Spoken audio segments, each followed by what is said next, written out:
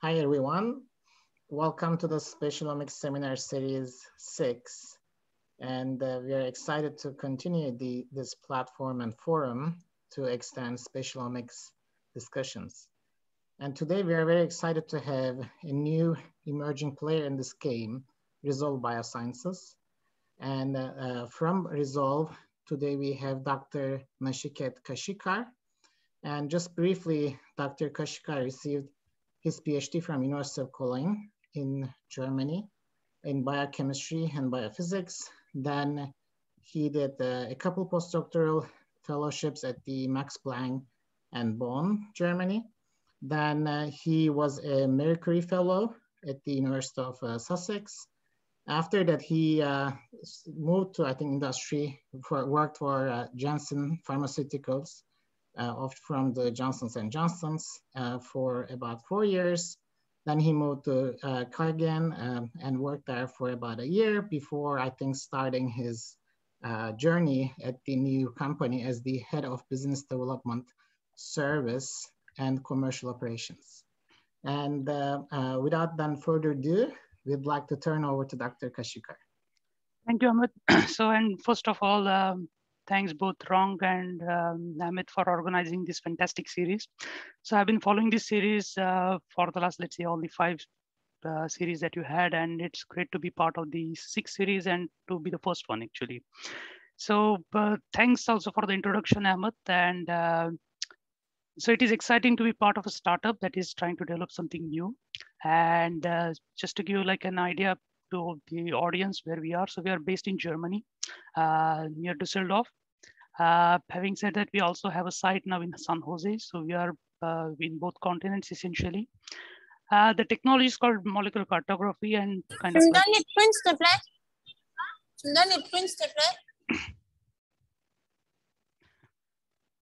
So yeah, um, so the technology is called molecular cartography. And just before we started the recording, I explained kind of the rationale behind why we kind of named this as cartography.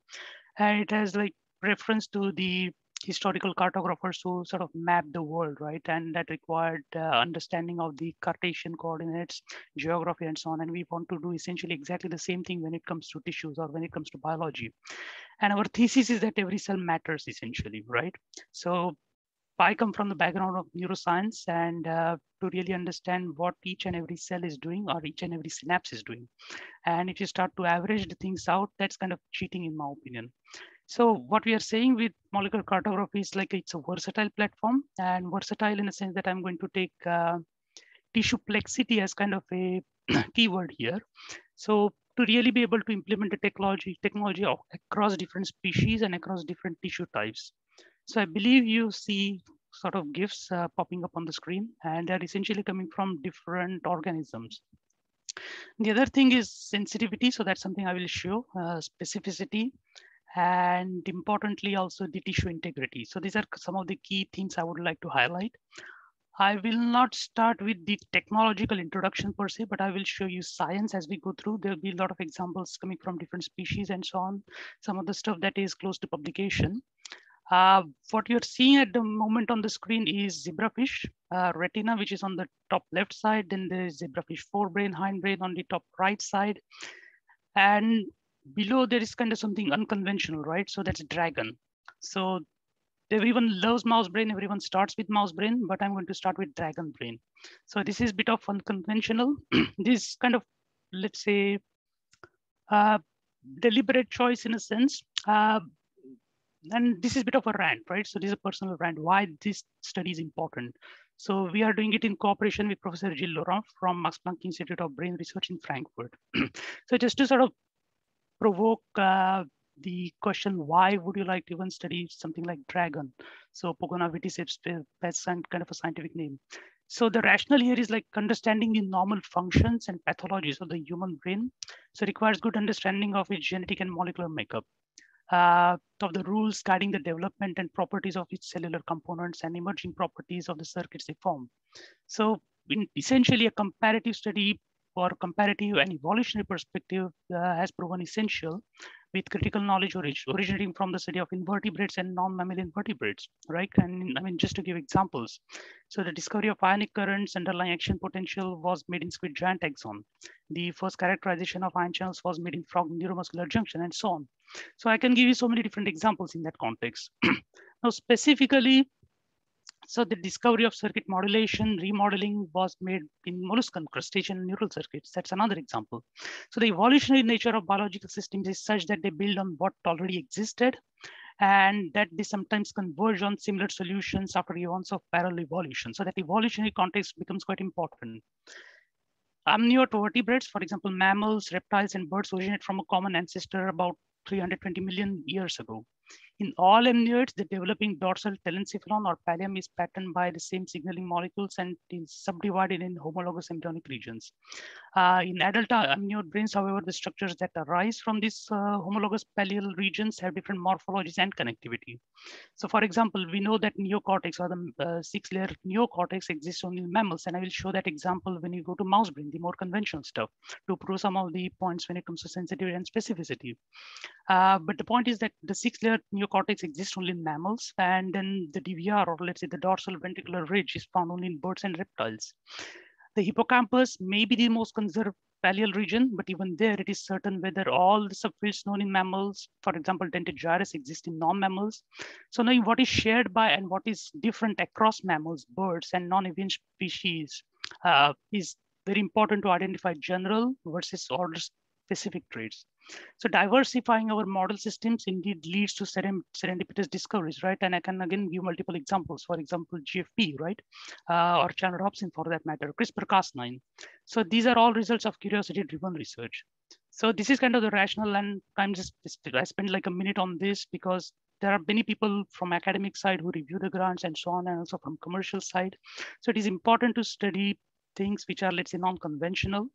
Uh, and in this specific project, we seek to understand the structure and organization of the vertebrate brain as resulting from the collective expression of set of genes, uh, specifically transcription factors, effector genes that can serve as diagnostic of particular structures, circuits, and cells. So what is the overarching goal here specifically? So to, the overarching goal is compare the brain architecture of amniotes at the cell type level. So again, that cellular resolution is quite important to gain insights into brain evolution. The images selected for this, I mean, what you see on the bottom panel, so they are from recent publication from Gilles Laurent's group, just to cite the references, and were used to identify the reptilian homologue of the mammalian claustrum. so in which part of the dragon brain are we looking at? So these are coronal sections of the anterior telencephalon, uh, including the claustrum what you see on the bottom right, sorry, in the bottom panel actually. So these are chromogenic in situ hybridizations uh, done on the such brain sections and those were done in Gilles' lab. What you see on the top, so these are molecular cartography images uh, done at Resolve uh, using a panel of 50 genes specifically in this case. Uh, there is slight a caveat and just to be very crystal clear on it. So most of the ISH besides RB2 image that you see are more posterior than the molecular cartography section. So that's why, for example, distribution of glutamatergic and GABAergic cells looks slightly different, just to be clear on that. So what, what is the take home message on this slide? So the left panel shows a dot plot with marker genes for neuronal and non-neuronal cell types. The spatial transcriptomic or the molecular cartography image shows uh, the distribution of neurons, SNAP25, neuronal pro neural progenitor cells, SOX4, mature oligodendrocytes, and their progenitors, SOX10, as well as microglia. Uh, if you focus on the middle panel, so that shows glutamatergic uh, neurons, uh, SLC17A6, and GABAergic SLC32A1. And you can nicely see the correspondence between molecular cartography data and chromogenic ISH data. So that shows again the spatial specificity part when it comes to molecular cartography, even though you are not doing one gene, but you are doing multiple genes uh, at a given point of time. The last panel actually uh, shows the ISH for ADAR2 labeling the reptilian claustrum, uh, which was identified based on transcriptomic as well as connectivity evidence uh, from Gilles' paper. And ISH for uh, CPNE4 plus ROR-B show that the claustrum can be sub subdivided into medial and lateral area. So what I want to show essentially from this slide is even with species which are, let's say, not uh, in mainstream, the molecular technology works perfectly. And that essentially points towards tissue uh, plexity that I started with. Now I'm going to jump to something that is more familiar to everyone, right? So this is about mouse brain. And I'm going to use mouse brain as an example to highlight a few points about, again, sensitivity, specificity, uh, how we do data, data analysis, what are the features, and so on. So this is a coronal section of a mouse uh, brain. And on the right side, you see the, let's see the map from Allen Brain Atlas, just highlighting different regions, cortex, hippocampus, uh, thalamus, and so on. On the left side, we perform molecular cartography experiments using a panel of 100 genes. Of course, I'm not showing all the 100 genes here. I'm showing only a select few genes because with 100 genes, you are just going to overcrowd the image and you're not going to be able to distinguish. But now we are going to look at only a different set of genes, right? So here, these are 13 chosen genes. and as we said before, like neocortex, it has six different layers, right? And these are genetically um, marked or genetically identified or can be genetically identified. So for example, the red guys that you see right on the left uh, hand of your screen. So calbindin 1, for example. So that is expressed in layer 2, 3 and sparsely expressed in layer 4, 5, 6 essentially here. The same is for ETV1, PCP4, and so on. So they really show beautiful layer-specific distribution. Now, how does that match with something that is known from the literatures, right? So what is the gold standard is ISH, in situ hybridization. So we compared our molecular cartography data with standard ISH data. Uh, so that, that was uh, published about 10 years ago from Chris Ponting's group. So we show here five genes, uh, CUX1, CUX2, and so on. So if you look at, let's say, for example, CUX1, CUX2, we see exactly the same spatial distribution as you would see with uh, just standard ISH. Take an extreme case, CTGF, which is to your uh, right uh, in that panel of five. So it is expressed in a thin layer 6B, right? So that's something that you see in ISH and we exactly observe the same expression pattern. So what I want to tell here is that, again, as I showed with you with the DRAGON data, the spatial specificity is quite exquisite when it comes to molecular cartography. How does it correlate with, let's say, the other known methodologies such as bulk RNA-seq. So we compare that. Again, of course, the bulk RNA-seq data comes from a different source. It's from the Human Protein Atlas, but correlation is quite strong. So the take-home message from this slide is the specificity and sensitivity of molecular cartography is quite strong.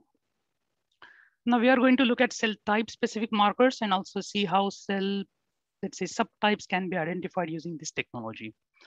So as everyone knows, uh, brain has different types of cells, neurons, astrocytes, uh, microglia, oligodendrocytes, and so on. And then there are different types of neurons. Glutamatergic neurons here are highlighted in different shades of red.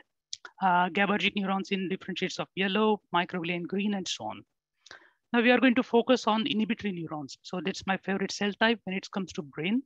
Uh, again, inhibitory neurons are identified by four different, let's say, genetic markers, right? So these are different subtypes. For example, GAD1 positive, parvalbumin positive, somatostatin positive, and VIP positive. So what you can beautifully see is that you can distinguish between two cells which are sitting next to each other. So if I just highlight my laser from with my laser pointer here, for example, here you have somatostatin positive neuron, and next to it is sitting a GAD1 positive neuron. And you can see multiple such examples in this image.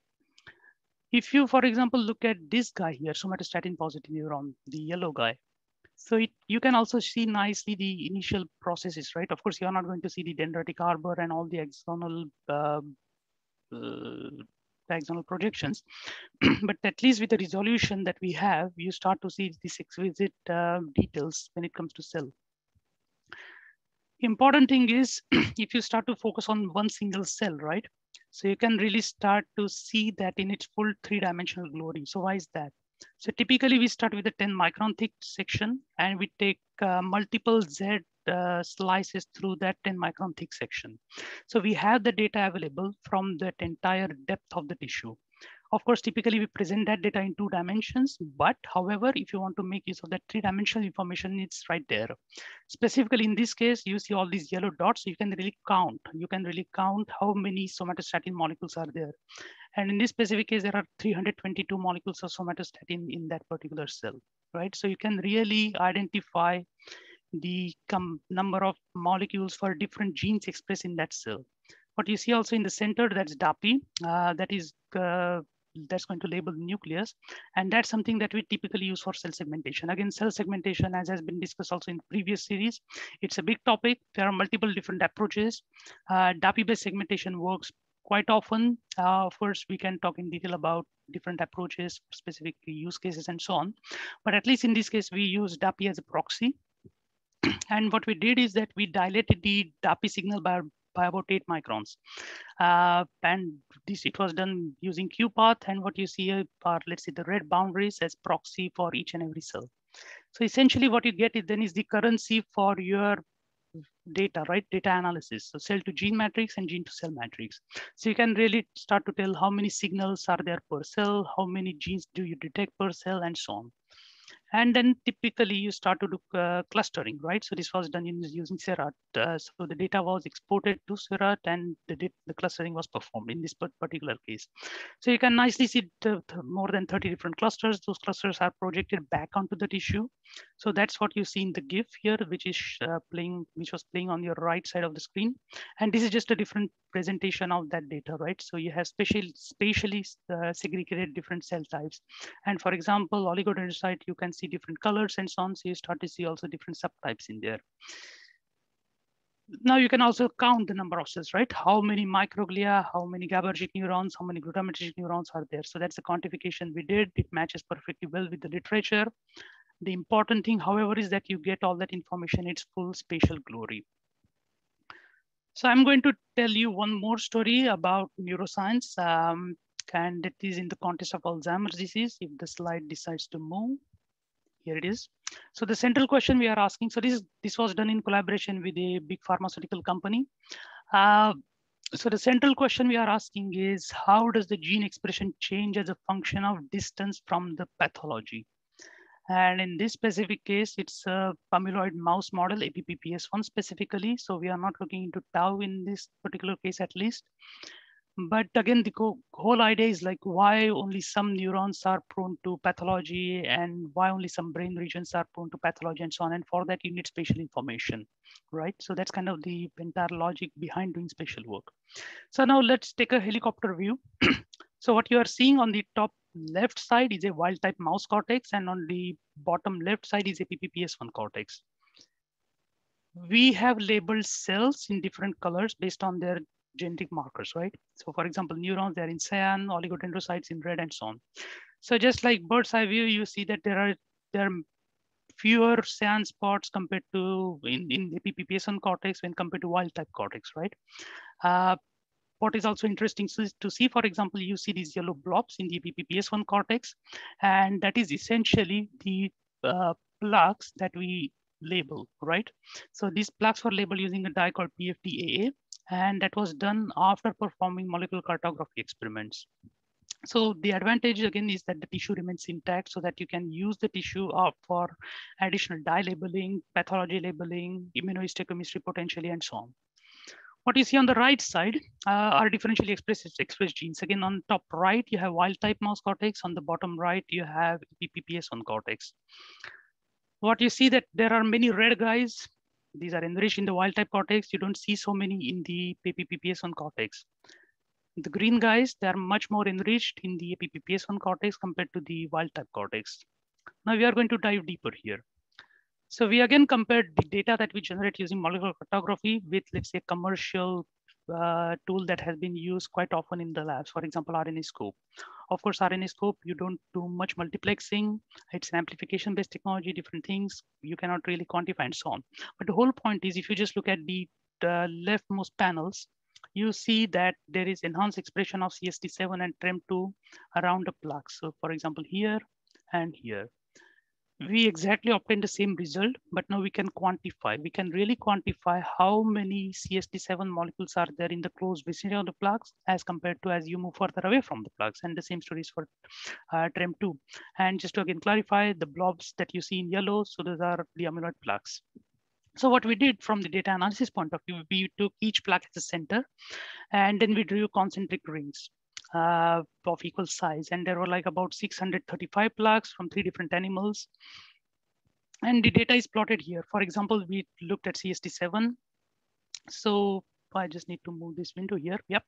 So CST7, for example, at the green line, I just showed you with raw data, it is really enriched in the vicinity of the plaques compared as you move further away from the plaque. The same stories for C1QA, but you see completely opposite behavior for CYT1, TUBB3, and so on. And that's something we had in for 100 genes that we had in, in that panel for different signaling pathways and so on. So if I move to the next slide, so you can again do clustering and uh, segmentation and clustering.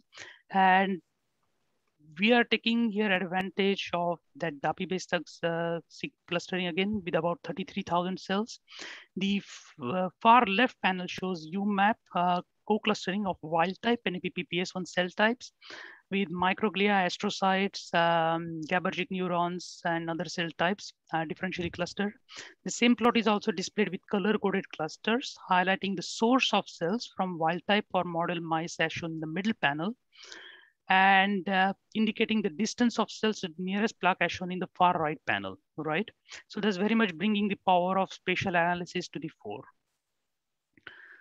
So because only a few marker genes allow for cell type identification in molecular cartography assay, we could compare the effect of amyloid pathology on the relative abundance of different cell types uh, between the two conditions and the precise location of the changes in the occurrence of different cell types. So for instance, we found that there is a substantial loss of neurons. So that's something that you see here. There is substantial loss of neurons. And on the contrary, there is there are many more microglial cells in the APPPS1 cortex. The spatial analysis also informed us that these changes are primarily in, let's say, 20 to 30 micrometers around the plaques. So, so to say, the sphere of influence of each plaque is about 20 to 30 micrometers. So we would not have been able to get such exquisite detail of information without single cell resolution and the possibility to digital quantification of mRNA molecules. Good. So one last bit on this story. So furthermore, we specially detected the shifts in, my, in the populations of microglia and astrocytes. So in neuroscience, as the name suggests, neurons take the center stage. However, recent evidence suggests that other cell types such as microglia astrocytes make the key contribution to brain function, right? And also consequently in the initiation, initiation and progression of Alzheimer's disease. So for example, we found that there are few disease-associated microglia in wild type cortex. So for example, if you try to look for bright green spots in wild type cortex on the right hand side of your screen, you don't find. But you see a lot of homeostatic microglia, right? And that entire population switches to disease associated microglia, which is on your left side of the screen, as you see a lot of green clusters there. And these green clusters are essentially surrounding the plaque. A similar shift in spatial distribution was observed in the case of astrocytes and reactive astrocytes. So this was about, let's say, mouse brain. Now we are going to sort of shift gears and talk about human brain samples, essentially. This is again in the context of Alzheimer's disease. Um, so these are post-mortem uh, brain samples obtained from uh, the Dutch Brain Bank. So these are control versus Braak 6 brain samples. And we just see kind of differentiation. Of course, the question you might ask, hey, brain tissue, human brain tissue, it's uh, like coming from aged patients, what about autofluorescence and all those things. Uh, so we have solved those issues so we don't get uh, frustrated with the, the background from lipofuscin for that matter. So we know how to deal with that. That does not affect our signal detection, decoding of the signals and such things. So what I mean to say is that I'm not going to make a big story out of it, but the human brain samples, for example, are good with our technology. Again, you can do similar stuff like clustering, uh, compare the uh, clusters uh, in wild type or let's say uh, non-AD brain tissue uh, versus AD brain tissue as we did, for example, in the, in the case of mouse brain. One thing I would like to talk about is sensitivity and the argument again comes in two different flavors. So one is comparison with in situ sequencing. I know it's kind of old chemistry and so on, but just to kind of sort of tell you where the technology stands when it comes to sensitivity, right? Because the sensitivity is a big issue when it comes to spatial technologies. There is no clear definition as such. Different people use it differently. So I'm going to kind of give you our perspective of what we mean by sensitivity. And I'm going to show you in the context of human brain tissue by compare it with ISS data. Uh, uh, and also uh, show sensitivity from internal data that we have in cell culture. so uh, we had, let's say, about 28 common genes in the, the ISS data, which was published, which is open source, and also from the molecular cartography technology. So these are non-disease human brain samples, neuron-rich regions, DAPI-based cell segmentation, and so on, right? so again, we are looking at similar area and uh, we, for example, as you can kind of see, right, just comparing the two images left and right. So you see many, many, many, many spots in the right hand side image, which is molecular cartography image. And again, different genes are color coded uh, for different cell types. For example, neurons are green, astrocytes are in bluish color and so on. So what we found is that, for example, uh, compared to the old ISS chemistry, in situ uh, sequencing chemistry, so we are at least uh, three log orders more sensitive. For example, mean transcript per cell are about 0.15 uh, in the published data, and we are about 138 uh, and so on. Now I would like to take the argument of sensitivity further. so what we did essentially, we took cell cultures and we also reproduced that data in uh, tissue systems. We passed the question, if conventional single molecule FISH shows you 100 molecules for a given gene in a given cell, how many molecules do we see using our molecular cartography technology? And here I'm showing example of two different genes, APC and CE and PF, and these are, let's say, low express genes and high express genes. What you see is that molecular cartography is as sensitive as, as sensitive as conventional single molecule FISH. So this is kind of sets the limit of the definition for sensitivity, right? Uh, because there is no other gold standard as far as I know, or we know that uh, tells you about, let's say, approximate accurate number of the the number of RNAs that you have in, in, in a cell. We are going to switch gears a little. so I know I already see a lot of questions, so I think probably I will run through the slides and then take all the questions. So changing the tracks here, we are looking at mouse liver. Uh, so this is in collaboration with Single Cell Accelerator Program uh, at VIB in Belgium. And really special thanks to the labs of Ch Charlotte Scott and Martin Guilliams at uh, VIB Ghent. So we aimed at benchmarking the spatial expression of 100 genes in mouse liver across three different biological replicates. Um, the reproducibility is quite strong. Uh, they are and R square is close to one. Also, when we compared molecular cartography data to published RNA-seq data, uh, we observed a very strong correlation with R square of let's say of about 0.97. So it cannot get much better. Here we are focusing on 10 representative genes. As we move away from the blood vessel, these 10 genes display a particular or very peculiar expression pattern. For example, gene, uh, sorry, for example, gene uh, WMF, uh, sorry, uh, VWF and GATA4 closely line the walls of blood vessels. And uh, while CYP2E1 is a drug metabolizing enzyme, which is exclusively expressed in hepatocytes uh, surrounding the branches of hepatic central vein with high and low expression of these genes, uh, genes as we move away from the central vein. So that's kind of the gradient that we are talking about.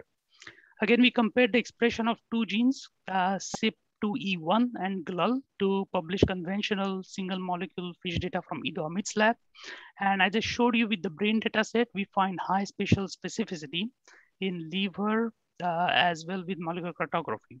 So if you look at the single molecule FISH data, which is let's say the bottom panel in on your slide, uh, around the central vein are expressed the two genes. GLUL1 is one cell layer thick and CYP2E1 is 10 to 12 cell layers thick. Molecular cartography with its multiplex approach recapitulates such expression pattern with uh, much superior uh, capabilities towards quantification. Let the slide move. Right. Now, again, taking the same example of liver, uh, what I'm showing you are, let's say, cell type specific markers for the liver. so as a part of the portal trial triad, uh, we see portal vein and bile ductules. Uh, we beautifully capture cholangiocytes and the epithelial cells of the bile duct solely based on the colocalized expression of three genes. So if you look at the bottom left panel, what you can appreciate probably is that abundance of one cell type does not hamper the detection of rarer genes or cell types. So for example, even in the sea of hepatocytes, you observe relative the sparse cells such as Kupffer cells and cells of hematopoietic lineage, for example. So that's something that you see, for example, in yellow here and also in the cyan for that matter. so of note, we looked into the subtypes of hepatocytes and clustering showed that different types of hepatocytes are spatially distributed throughout the liver tissue. So there are like say seven different types here. Uh, in particular, different subtypes around the portal vein uh, and the central veins and such a differential spatial expression points towards differential function of different subtypes of uh, hepatocytes. Now, this is something quite satisfying, what is what you see on, on your screen. So on the left, you see protein data, right? And again, this is really hard work put in by Martin Guilliams uh, and Charlotte Scott from the IB Ghent. So they really put in a lot of work to get antibodies work in liver tissue. And what we did is we compared the protein expression to mRNA expression. Now, liver, as you know, is a super repeated structure. So blue are portal veins, light blue ones are cholangiocytes and so on. What you can nicely see if you compare the protein stuff and the mRNA stuff, excuse me. so GLUL1, for example, uh, that is surrounding the central vein, which is a marker for hepatocytes. And we see exactly beautiful uh, correlation when it comes to also mRNA data. So again, proteins and mRNA match, let's say one-to-one -one very nicely. EpCAM is another example. So these are, let's say the bile duct surrounding the portal vein. So there is beautiful correlation between protein and mRNA data. And uh, this is this is really fascinating from personally very satisfying. what I would like to show here is another example when it comes to comparison of protein and mRNA. Uh, what you can nicely see here is identifying cell-cell pairs. And what I'm showing you from the protein front are two different markers, desmin and CLEC4F. So desmin is a marker for stellate cells and CLEC4F is a Kupffer cell marker. And they are essentially sitting next to each other uh, when you look at the protein data. And we exactly find similar neighborness or neighborhood also in the mRNA data. So for example, the green guys uh, called EC11 and DCN. So these are the stellate cell markers. Uh, F4AP and CLEC4F. So these are the Kupffer cell markers. So again, there is fantastic correspondence between the protein data and mRNA data. Of course, we are not quantifying here the protein expression and so on. That's something you can nicely do with mRNA. But again, when you talk about spatial specificity, and how much you can predict from the mRNA data. So this is quite uh, satisfying. so again, to continue with the theme of, let's say, tissue plexity, I would like to show an example of human breast cancer tissue. Again, I'm not going to make a big scientific story out of it, but uh, what I want to do is to briefly show you uh, how we can use molecular cartography to really dig into tumor microenvironment for better diagnostics, better therapeutics, uh, to illustrate that approach, uh, we have done it on human breast tissue obtained from two different patient donors and using a set of genes, and you see these genes popping up, popping up in the GIF, we can distinguish different microenvironments of the tumor, and we can also compare two different tumors obtained from these two different patients. So, and as I alluded to before, right? So when it comes to tumor biology, it is important to have that single cell resolution to fully capture the tumor microenvironment. So each tumor is different and each cell in a tumor comes with distinct molecular reporter. And as shown in this example, molecular cartography provides that avenue to investigate the tumor microenvironment in exquisite spatial detail.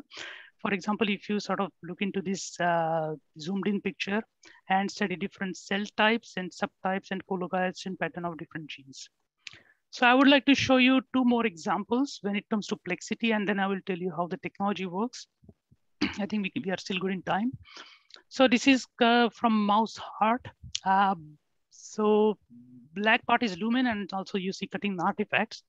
But what you see are these signals linked to distinct cell types, um, uh, or let's say different cell types of the mouse heart, particularly cardiomyocytes, endothelial cells, fibroblasts, so smooth muscle cells, as you can identify these genetic markers.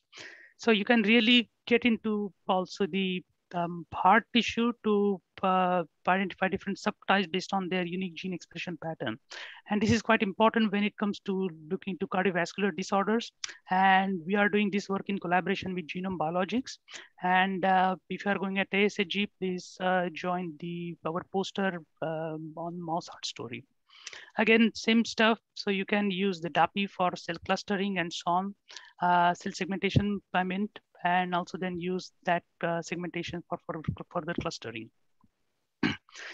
so the last, uh, let's say story when it comes to uh, tissue plexity and this is the work that we have done together with uh, dr natalie Jurisch-Yaksi from ntnu in norway.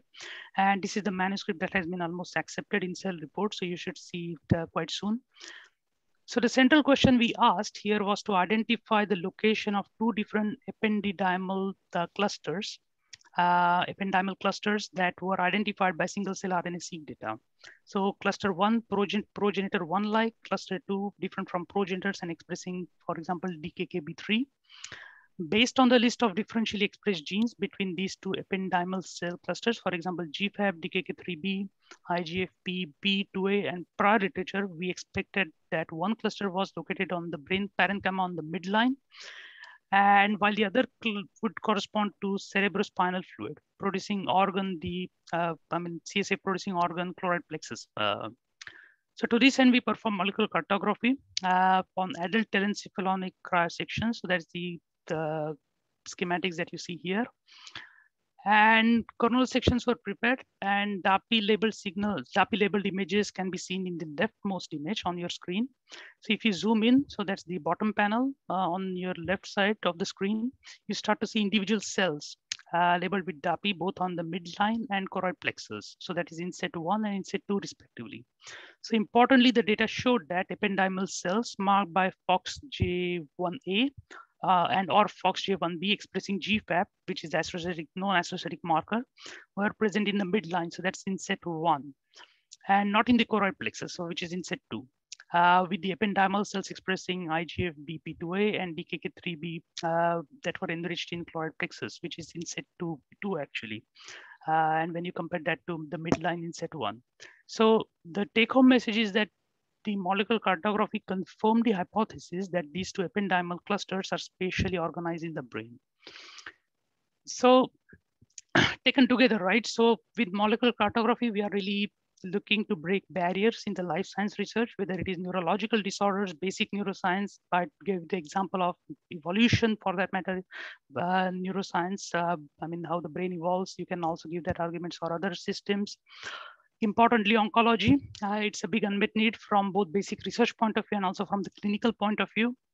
Developmental biology, uh, whether these are developing uh, animals, for example, mouse embryos, or also this could be, let's say, organoids, right? So I haven't shown you the example of organoids, but if you go to Resolve's website, you can download a white paper which tells you the applicability of molecular, molecular cartography on brain organoids for that matter. Infectious diseases, SARS-CoV-2. So the underlying theme behind all these different biological disciplines is to understand the tissue microenvironment at okay. single cell level, subcellular level, be able to quantify so that you can identify what is similar and what is different uh, in each of those cells. so now a bit about Resolve uh, and also then on the next slide, how the technology works. So what we are essentially taking pride is differentiation by methodology. So we essentially, I mean, I showed you with the data. So we really have high resolution uh, when it comes to detecting subcellular events happening in a given cell. I showed you that three-dimensional image of the somatostatin positive neuron. Uh, high sensitivity, I again showed you that by example, when we compared it to conventional single molecule fish and also some other methods. Importantly, the tissue remains intact so that you can use it for analysis of um, uh, let's say different pathologies or again different uh, cell types uh, using antibody stainings and so on. So how does the technology work briefly? So it is based on combinatorial color coding. So it's an imaging based technology.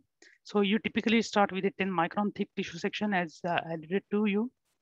So we design gene specific probes. So um, and there are multiple probes uh, spanning each of those genes, right? And then we color the probes, we image the probes, and we decolorize the probes. How that process occurs, that's the proprietary stuff uh, for Resolve. And uh, important thing to know is, again, from the versatility point of view, that we can process multiple samples at a given point of time. And we will come to that on the following slide. so this is the slide that kind of gives you a summary overview of uh, what Resolve essentially offers uh, through its molecular cartography technology. So we do up to 100 genes simultaneously. Uh, in principle, there is no limitation in terms of which genes you can or which you cannot choose. So the panel of the panel is customizable. The, the resolution that you get is cellular and subcellular. Uh, pin, then of course you have it in two dimensions and three dimensions. Of course, typically we present the data in two dimensions, but as I told you before, if you want to have the three dimensional information, it's out there. Of course, we are not doing 50 or 100 micron thick tissue sections as yet, but uh, even in that 10 micron thick tissue, se tissue section, you can capture a lot of information in three dimensions, particularly if you are interested in subcellular localization of transcripts. It's an imaging based technology, so you're going to generate lots and lots of data. However, we don't put that burden onto our customer. So we have a dedicated bioinformatics pipeline that uh, analyzes the primary data on the fly, uh, performs spot segmentation, does error correction, decoding, and all that stuff. And what essentially you get is a essentially it's a text file, right? Uh, in the end, um, our spot coordinates for millions and millions of spots that you see, and the identity of those genes. Then to analyze or to visualize that data, we have a dedicated bioinformatics software where you can uh, do clustering, co-localization analysis, and so on. Important is quantification. So one spot corresponds to one transcript. We talked about multiplexing uh, in a different context. For example, I mean, as, as, I told you, right? So we can combine it with dye labeling, immunohistochemistry, and so on. Throughput, so that's the important part. So we process up to, or we can process up to 24 samples in parallel. So how does that work? So we, so each, so those 24 samples are divided into three slides, let's put it this way. And each slide contains eight wells. And in each of those eight wells, you can house one sample. And we can process 24 samples like that in parallel. Then on each of those samples, either you have the same set of 100 genes or you can have different set of 100 genes. So in principle, you can probe 2,400 genes in one group. Of course, it's going to come from different sections, but you could have it from the same biological uh, material, or let's say from the same uh, animal and so on. Sensitivity, we talked quite a lot about it. So we do not use any enzymes. Uh, we do not have any amplification. We do not have any laser capture and so on. So by definition, single molecule FISH-based technology, and again, I showed you with the data that sensitivity is quite comparable with conventional single molecule FISH methods. We started with tissue plexicity. Uh, so in terms, when it comes to sample types, we have validated technology across different species. I showed you the example of mouse, human, zebrafish and so on. So that is perfectly fine. Uh, different tissue types, brain, kidney, liver, spleen, and so on. Cell culture, I haven't shown you the data, but cell culture is relatively easy, whether it's our HEK cells, neuronal cultures, or HeLa cells, or any other, for example, induced pluripotent iPSC derived, let's say, microglial cultures, and so on. So that's perfectly fine. so just kind of a short, let's say, how does that work, right? I mean, if you want to use the technology, what are you going to do? So we had an oversubscribed early access program uh, that is closed now. So we have launched the commercial service offering. And when we started, I told you that uh, we had two campuses. One is in Monheim uh, in Germany, which is near Düsseldorf, and the other facility is in San Jose. So we have launched the commercial service business. So essentially, we are launching the online tool to order probes, uh, where you can also select your genes and all that stuff. So you get your dedicated, let's say, personalized My Resolve portal where you have access to everything about your project and you also get let's say the timelines of how where your sample is when it is going to be processed and all that stuff. And that's where also your data will be sort of uh, delivered. You then receive the kit uh, to prepare the samples. Uh, you mount the samples uh, based on the protocol that we supply you. You ship the samples back to us not necessarily by ups you can also use other courier system no bias there the product is data. So essentially what you get is data, right? Uh, together with the software for you to analyze and interpret uh, that stuff. So the take home message is that it's an end-to-end service. So as a customer, you just need to prepare the sample, importantly, have a scientific hypothesis first, have the knowledge of which 100 genes you want to uh, look at, or at least have understanding of, let's say, which signaling pathways you want to look at and so on and we take care of everything and then you get the data back. So that's it essentially from me. And again, just kind of a message. So if you have any questions when it comes to having projects and so on, just drop an email to info at resolve. So I think I'm going to stop here and take I already see 12 questions. Thanks. Yeah, thank you, Nachiket. Uh, this is a great talk. I so much enjoyed the, the biological story you discussed at the beginning. Uh, I think my question is gonna be kind of centered around those very, very interesting data, but uh, lots of technical questions in the chat box. Um, I don't know if you want to read and answer them first. Yes. Okay. So I start with the last one, then I go sort of scroll up. So the question is from Tiju. So he is asking, I'm confused. Is this only service for researchers or is this an instrument for people to use in their own lab? Great question. So as I alluded, so we have launched the commercial service business across the pond, both in the US and also in Europe. Uh, the instrument is available for sale. So again, if you're interested, again, it's for select customers. If you're interested, just drop an email to info at resolvebiosciences.com. Let's say info at resolve-biosciences.com and we will get in touch with you. so let me scroll up. So I had another same question from Eric. So I think I answered that. So what data is there to support the digital quantification parameters that one spot is equal to one transcript? so great question. So I'm going to give kind of a long-winded answer. so we, it's a combinatorial sequencing combinatorial fish-based technology. So each gene is probed multiple times.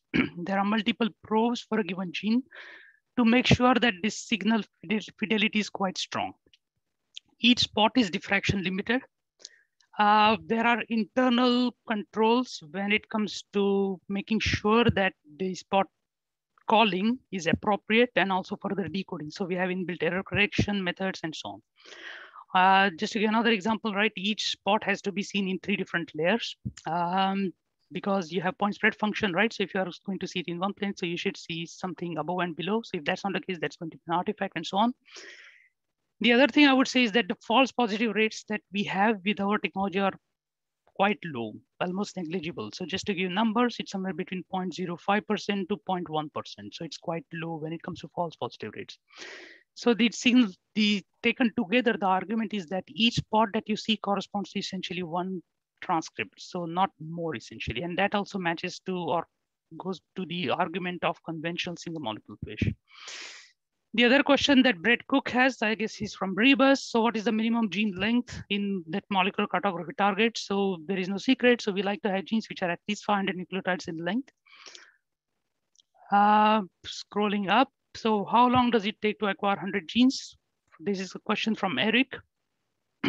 so it is not about how long it takes to acquire 100 genes, whether you're looking at 20 genes, 100 genes, it does not matter. The point is the time it takes for the automated instrument to run because it has imaging and fluidics component in it.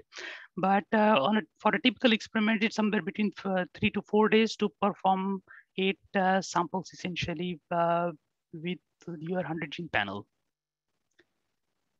So the other question that I see is to, to, to, to Emeka. I would like to echo the other question as it is difficult to assess the value of this technology without knowing what it has actually done.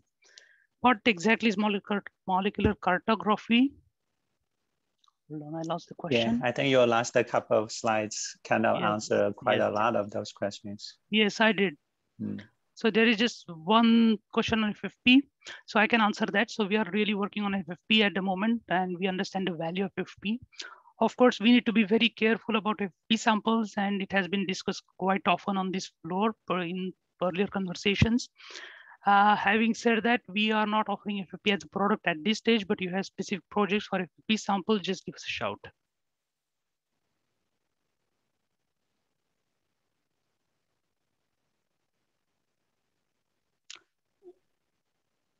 So I don't really understand the question from Luciano.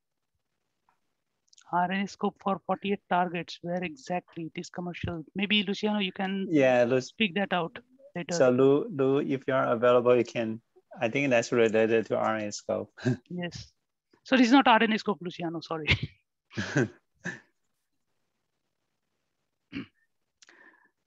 right, I'm so delighted. Yeah, I'm delighted to tell you guys actually um, ACD Bio gonna uh, speak as well, and uh, just uh, stay tuned.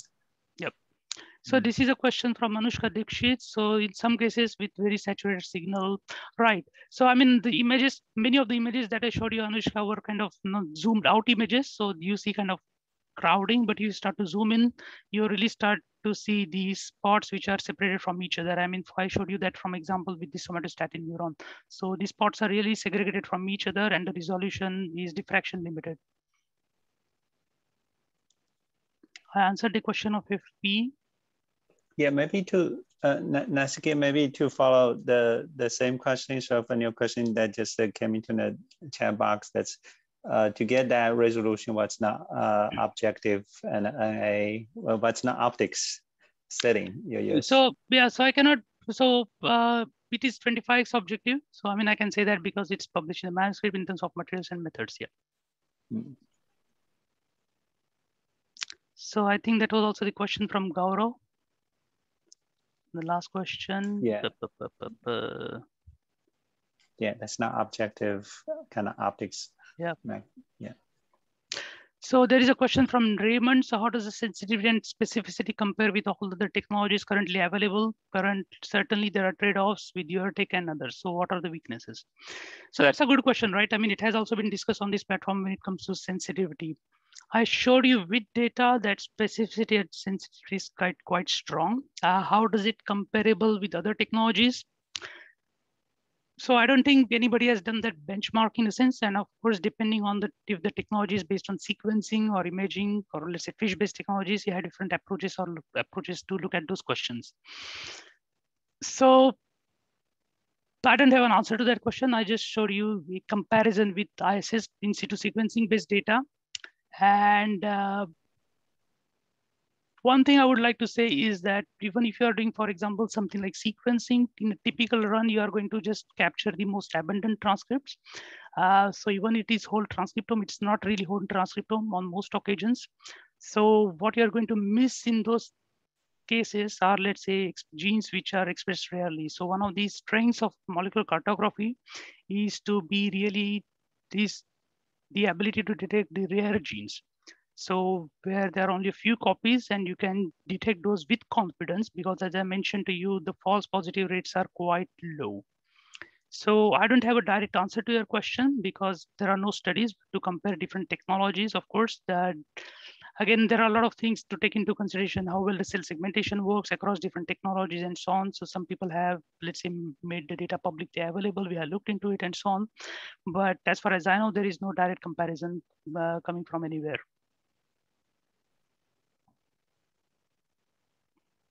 Anything that I've missed? So I think yeah. one, yeah, go ahead, John. Oh, I think my, my colleague, uh, Steve Wang asked, uh, the so how the chemistry actually work? that uh, you you just uh, image different genes one by one, or you just uh, you do something like a combinatorial barcode? So it is a yeah, so it is a combinatorial approach that, as I alluded to, is it is not one by one. So essentially, you are looking at all the genes at a given point of, I mean, in each of those rounds. Mm -hmm. How that combinatorial approaches works is different to other technologies, and that's the proprietary part of Resolve. Yeah, that's great. It's uh, clarified. so, Ahmet? Oh yeah, actually, I was going to bring up exactly the same thing. So the mm. assay might have different, uh, you know, properties, right?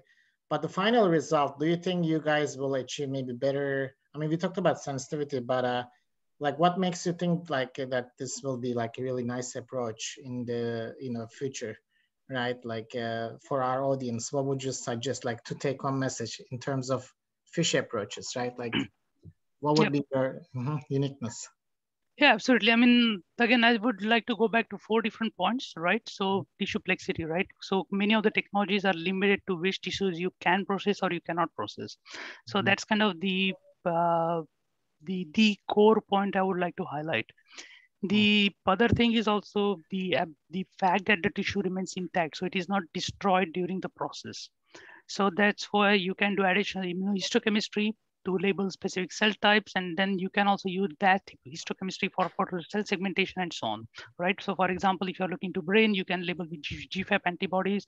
Then you can, let's say, label the boundaries of your astrocytes, use that information for cell segmentation and all those things. Again, to label the pathologies I showed you by example and so on. The third part is, I told you, is about sensitivity. We go back to that same point quite often, but it's quite important, right? Because nobody has really looked into that so far in detail, right? because if you're if you require 30 to 40 markers to classify a cell so that's going to be poor so uh, if you can do that with confidence only with three or four markers that's something we can nicely do again i have shown that by example so that's one of the key strengths to really able to use few markers to identify different cell types and cell subtypes and the other thing is the data analysis part right so we understand that the data is, is our product not everyone has the expertise or capability to, to, let's say, handle the data. So we make the data really accessible to the customer. Um, the software that we deliver, so it's a browser-based interface that's really intuitive. So I haven't showed that I, have, I haven't had a chance to show you, but um, or, so there are two versions actually. One is an one is an ImageJ-based plugin, and the other one is a browser-based in interface. But both are really, let's say, intuitive to the end user so that you can visualize your data in a nice manner. You can perform basic analysis such as clustering. You can also do, let's say, the uh, sorry, segmentation, clustering. If you want to export the data to, let's say, publicly available uh, tools such as Seurat or Giotto, so that's also easily doable. So these are kind of the strengths when it comes to using molecular cartography and why you should molecular cartography. Of course, you can argue that we do only 100 genes, only in quotes. So, but the, the, the, whole point is even with 100 genes, with that sensitivity, you can achieve a lot. So sometimes less is more and more is not good. So if you are getting good quality data with those 100 genes, uh, that's going to help your scientific hypothesis. So that's where you should uh, go for molecular cartography. I see. So it's like more gentle protocol with more support in the software. Absolutely. And mm -hmm. the other thing I would like to add is like the ability to use many different samples, right? Because in biology, there is always a question of repetition, right? Biological replicates, technical replicates. And I come from a different scientific background, right? I mean, I don't come from the transcriptomic field or sequencing field, but quite often a lot of studies are not powered enough with uh, replicates and so on. It has probably something to do with cost or whatever that is. But we can process eight samples in parallel on the given slide, and we can process three such slides. So we have 24 samples. So you can have enough biological replicates and technical replicates to have confidence with the, in the data that you have. And that's quite important when you're, for example, working with human samples, right? So there is going to be biological variation, which you cannot avoid, but that's where you need that power when it comes to, let's say, standard samples like mouse, tissue, and so on, so I showed you that from the technical side, the reproducibility is quite strong, right? But to, let's say, account for biological variability, again, as I said, human samples or those to be organoids, where there is there are inherent differences, you need to have that uh, strong, strong N essentially. And that's where also we are quite strong. Thank you. There are a couple additional questions on the chat. So does eight samples mean eight tissues? So these are eight different tissues, that's right. So each slide is divided into eight wells and in each well you can place one sample each. So how big is that well? So each well is about a centimeter by centimeter. Uh, we, of course, we do not do a centimeter by centimeter because again, your tissue that you are going to place is not going to be exactly centimeter by centimeter, but mm-hmm. you get a certain tile budget. And uh, if there are, let's say, I mean, whenever there are, let's say, projects coming in, we discuss that tile budget or uh, area budget you can let's say split that area budget across eight wells so for example in well a you want to image larger area compared to will be and so on. So that's that's flexible in a sense. Mm-hmm. so essentially you what, what you get is a preview scan image where there is a virtual grid. You select which areas you want to image and that's what you get it from the instrument which is a fully automated instrument for that matter. Mm. so do you validate all of your probes? So that's an interesting question. So let's get to the definition of validation.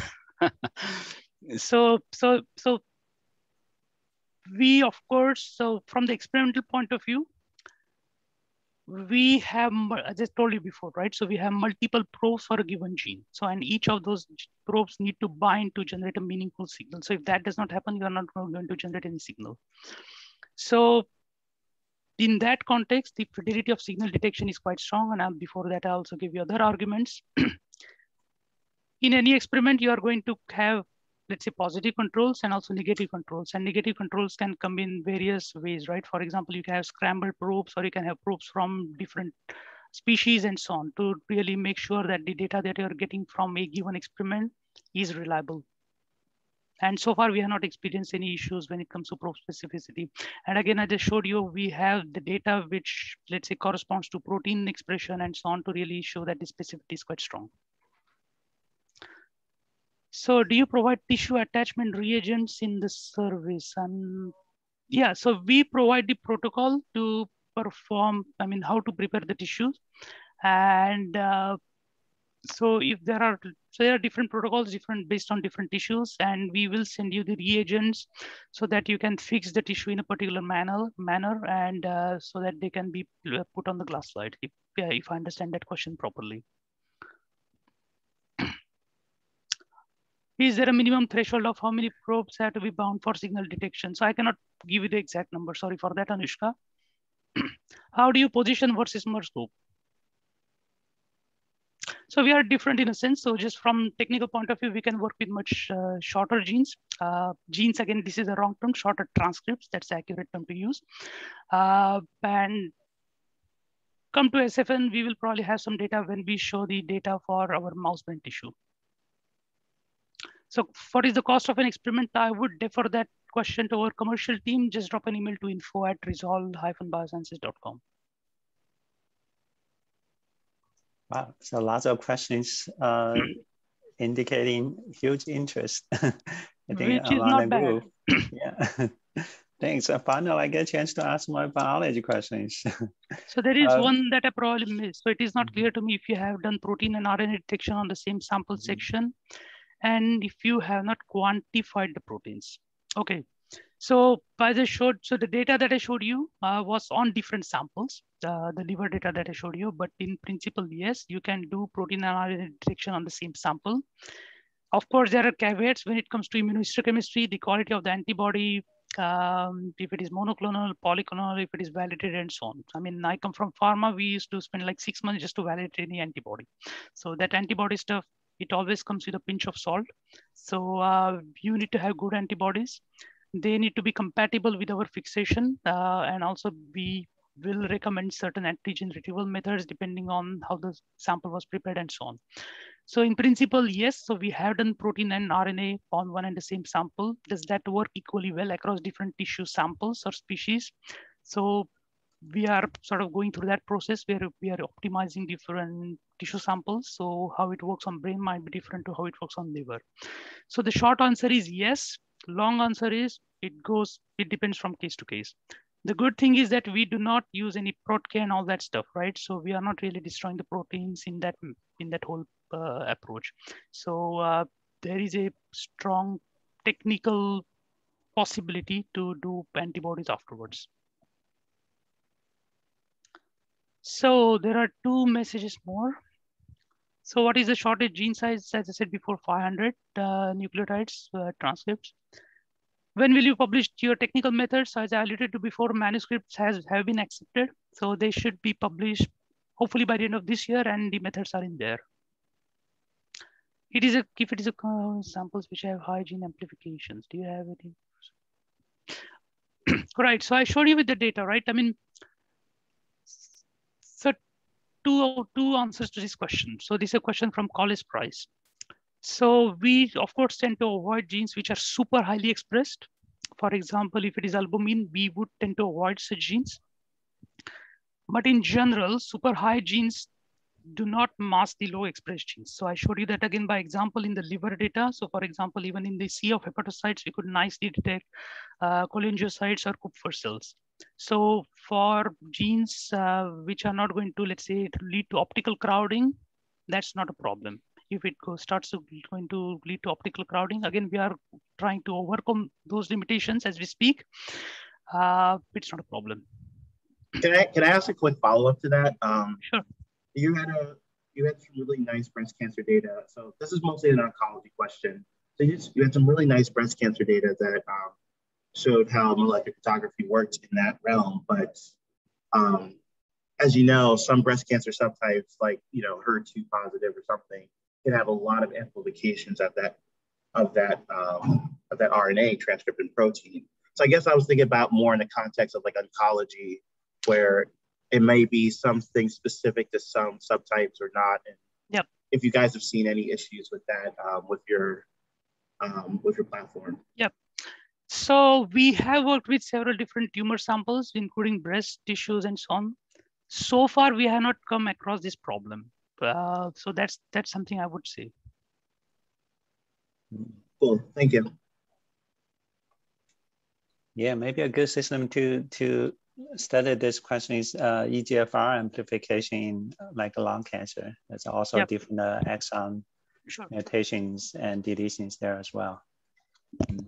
So also I'm very curious about the, the C1QA data in a, a AD mouse brain yes. because uh, it's a complement, right? C1QA yes. it's a com complement protein.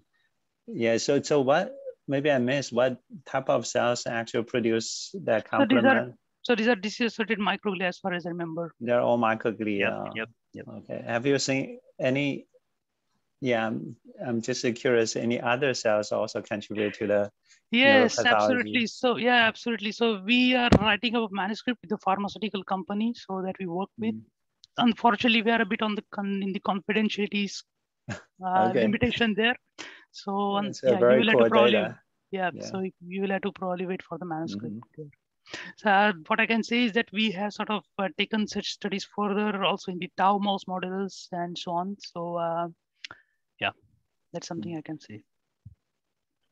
Yeah, also in a liver zonation data, right? So I, I think you can further analyze subcellular localization. Of, yes, yes. Because it's yes. a perfect system. The cells are big and also yeah, from a center to the portal vein, right? So you see which transcripts are actually polarized. Yeah, I mean, what I would say is that, I mean, again, I mean, that's totally mm-hmm. before, right? So we did it in collaboration with Martin Guilliams from VIB and Charlotte Scott. Mm-hmm. And they have got a manuscript in review and so on. Um, so of course, they have looked into the cellular aspect, but I mean, it's a good point, Rong, right? So you get so much of data, so you can probably have two or three publications just from one data set, right? Mm-hmm. Because you can start to ask different questions and so on. Mm-hmm. So that's that's again the power of technology that uh, that is that that that uh, affords you. Also, there is a prior prior literature. I think it was a science paper showing the polarization in liver, right? Zonation, yeah. and yes. they looked at translation and how it polarized, right? Yes. Great. So any other questions? So I'm not sure if I see anything in the chat. Oh, okay. I think it's almost 3.12. Um, considering uh, your valuable time, maybe we can get to the end of it. Uh, so um, thank you again, Dr. Kashikar, for this uh, uh, exciting uh, technology and the presentation. And before uh, we conclude today, I'd like to announce that next week we have Dr. George Emmanuel from Vizgen presenting the uh, Merscope system. And uh, uh, so we will be also hearing and learning more about the recent developments about MERFISH. And thank you again, Dr. Kashikar. And I actually forgot the clapping part. Thank you, Rong, for reminding me. And thank you, everyone. Thanks thank for listening. Mm -hmm clapping finally. yeah, have thank you, Nashke. Yep. No problem. Have a nice weekend. Yeah, have a good evening. It's pretty late your time yeah. now. you guys thank you so much. Thank Bye. you. Bye-bye.